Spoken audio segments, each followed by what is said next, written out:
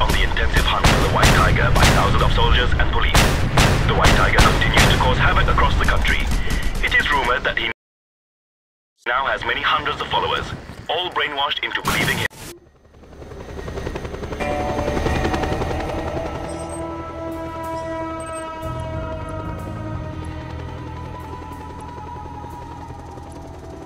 Thank